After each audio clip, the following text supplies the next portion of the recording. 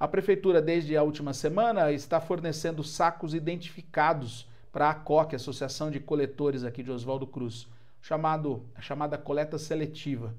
É porque a identificação foi necessária para fazer com que os sacos verdes sejam propriedade da ACOC e quem mexer nos materiais poderá ser implicado em crime. Esse foi o alerta que a prefeitura e a ACOC tiveram que fazer porque os piratas do lixo continuam atacando, retirando objetos de maior valor e deixando 35 famílias que dependem da coleta seletiva no prejuízo. Veja. Quem quer o melhor implante, escolhe a Odonto Company, porque aqui só tem especialista. Só vem. Eu fiz meu implante com quem mais entende do assunto. Só vem. Usamos tecnologia de ponta e materiais importados. Só vem. Meu tratamento foi rápido e sem dor. Só vem. Mais de 10 milhões de pessoas são clientes da Odonto Company. E você, tá esperando o quê? Comece já o seu tratamento. Só vem. Tá acontecendo esse incidente aí que a gente está vendo aí, muita gente é, abrindo sacos verdes, né?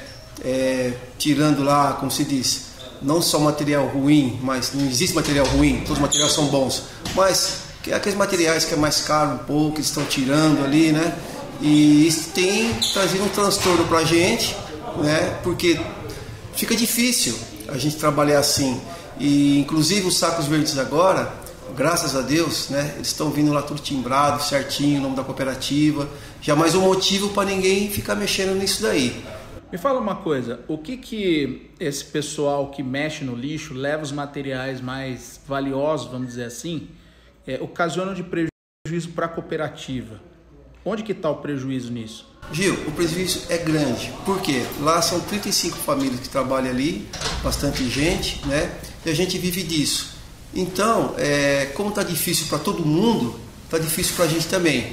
Então, quanto mais defasado falta de material para a gente, vem trazer um prejuízo muito grande para a gente. E o pessoal faz o que? Passa antes da reciclagem? Quando a gente fala assim que tem alguém tirando, que tem alguém abrindo sacos verdes, que tem alguém é, roubando aquilo ali, talvez as pessoas podem falar assim, nossa, é, eu vi uma senhora com carrinho, eu vi um, um senhor com carrinho. Gente, não é desse povo que eu estou falando.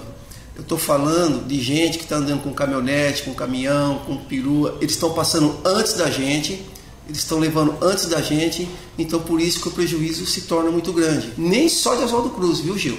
Tem gente aí que está vindo de fora e eu quero deixar bem claro que isso vai virar um transtorno para esse pessoal.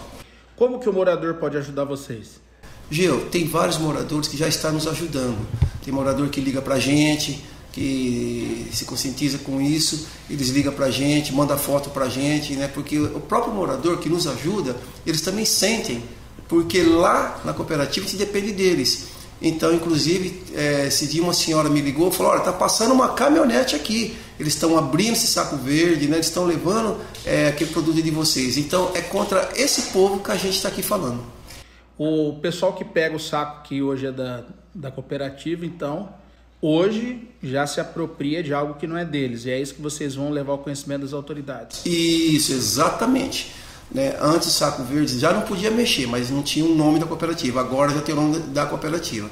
Então eu quero deixar bem claro que quando a gente mexe em algo que, que tem uma propriedade, fica difícil. Ninguém entra na casa de ninguém ou no sítio de ninguém porque é a propriedade. Os Sacos Verdes agora é a mesma coisa. Paulinho, telefone para denúncia, para quem quiser colaborar com vocês, como faz? Pode estar ligando para a gente, é 997 76 7134.